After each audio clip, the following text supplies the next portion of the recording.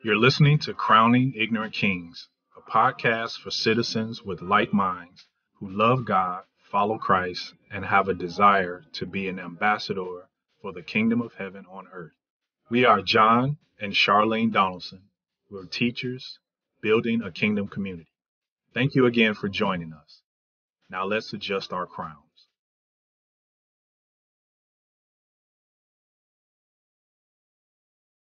And I was just thinking that um, by him telling them these things is like he can see where the focus is. You're so concerned about your life, what you're going to eat, drink, live, Right. all these things that the focus is not on, you know, your Right. purpose and the things of God and expanding God's kingdom in the earth. So when the um, the gospel of the kingdom, which is the kingdom, Christ coming to inform them about the kingdom of God Right. uh, which he didn't come to inform them about the death, burial, and resurrection. That's not what I've been taught that that was the gospel, but the gospel is the kingdom of God because he tells them, but seek first. This is before anything else. This is what you go after the kingdom of God and his righteousness, his way of lining up and being in right standing with him so that you're in position to receive those things that you're entitled to as a citizen.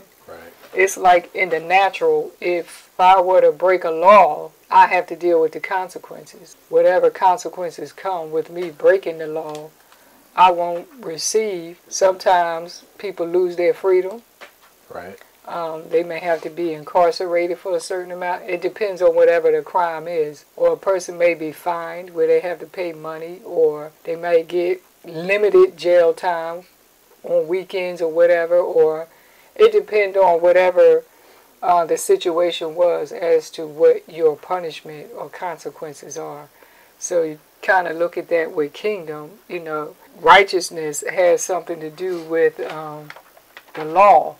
So it's like you had to really be in line. And I want to, read something I um, kind of looked up. Comes from, as you mentioned before, the discipline of the law. It's not a religion and it implies right positioning. And I know by faith we've been declared righteous. You know, Right. once you accept and confess Christ, you know, you're, you're brought into right standing with Him mm-hmm. and it means to be in alignment with authority, right standing, right fellowship, correct fellowship, right relationship, to be in legal or lawful alignment. So, the kingdom of God, there are laws or principles that govern his kingdom.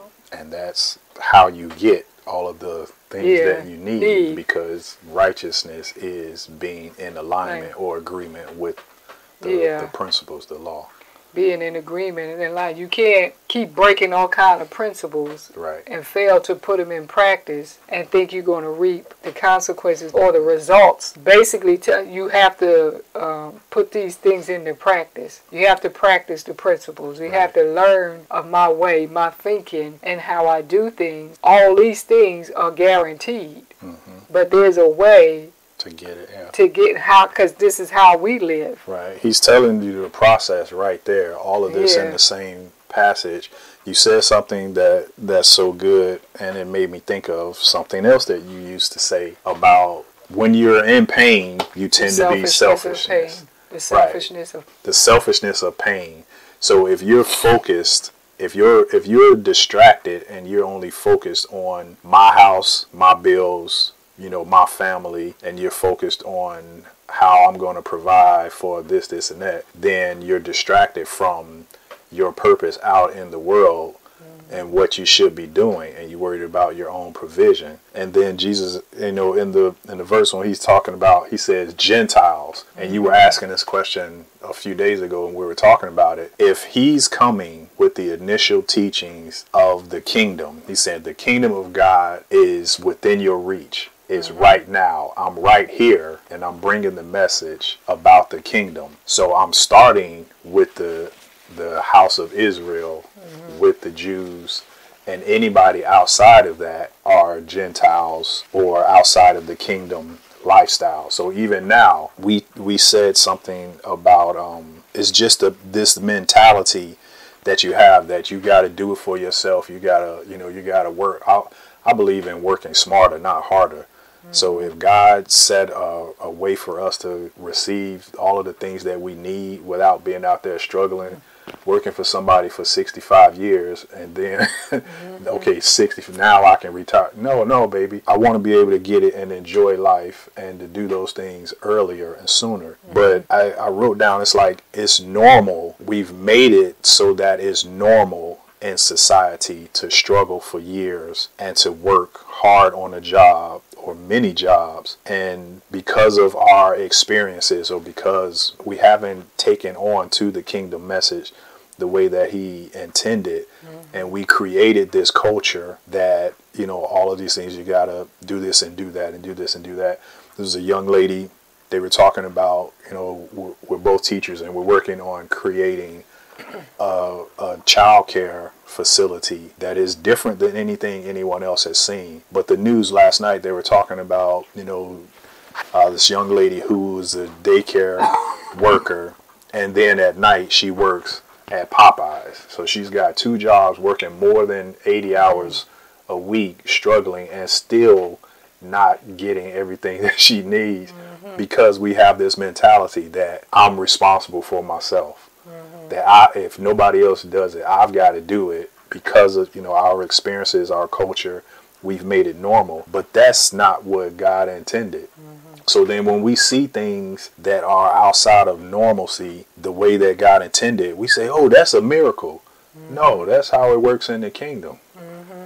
It's that's normal everyday life to him to in the kingdom. That's how it's supposed to be but we call it a miracle. So we're not supposed to struggle and suffer like that but if we practice the principles and we keep that relationship with God, then mm-hmm. those things come easily. Because when he says, for all these things do the Gentiles seek, like I said, the uh, outside of the kingdom outside mindset. of the kingdom mindset, the Gentiles who were not Jewish, but it doesn't mean that because you're not Jewish, you don't have rights to the kingdom of God. Right. But, that was um, just initially yeah, as he was. was the seed started in Israel, but now the whole world has access yeah, to it. because when you read in Romans, it talks about because of their disobedience, the Gentiles were grafted in. So they have a chance to partake. And the reason right. why God allowed that was to provoke jealousy in that culture right. to kind of shake them a little bit, not to be to retaliate with evil, but to kind of say, oh, I want that too. Right. You know, so to speak, and to kind of, you know, get you to kind of find your way back right. to where a, you originally. Yeah.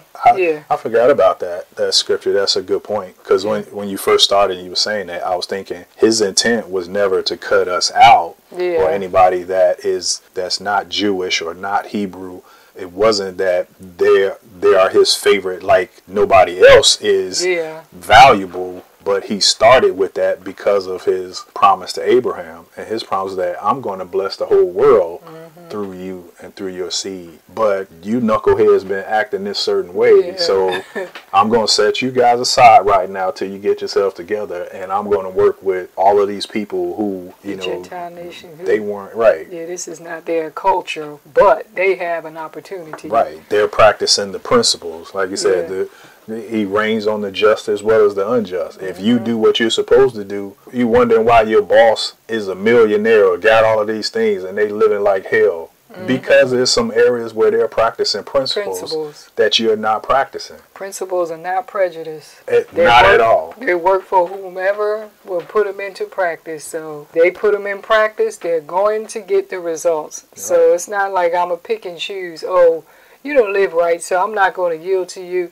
But it doesn't work like that. It's a principle. It's the results are locked in the principle. Right. That when you practice it, this is the result. It's automatic. It's yeah. not going to change. So whether it's the the reward, the benefit, or the punishment, they're both already in the principles. So mm-hmm. whether, like you say, God is punishing me, this is like no, it, the word is right there, the rule is right mm-hmm. there, the mm-hmm. law is right there. So if you practice it, you get the benefits and rewards. If you don't practice it, then you lose it, or you, you know, mm-hmm. that's a, a, a form of death. Where you miss out on what you could enjoy because you don't practice the principles. And sometimes, I guess, people are not exposed and don't have an understanding of what it is. I really believe that even when you don't know and your heart is sincere and you're, you know, you're in communion with God daily and you're in His Word, God will, through some way, shape, or form, reveal something to you. Mm-hmm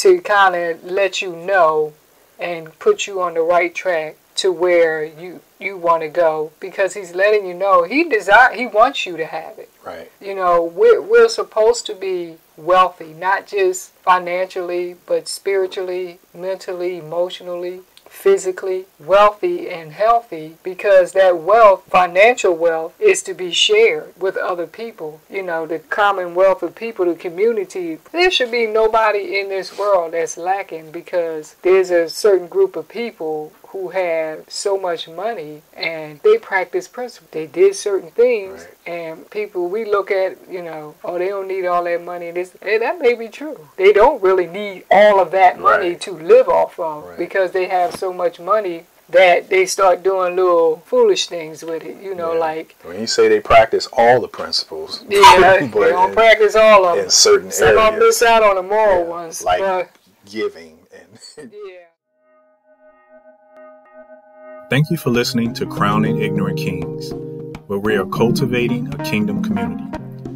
Please sign up for our podcast, download, like, and share. Look for us on your social media platforms. If you'd like to reach out to us, please send us an email at crowningignorantkings at gmail.com.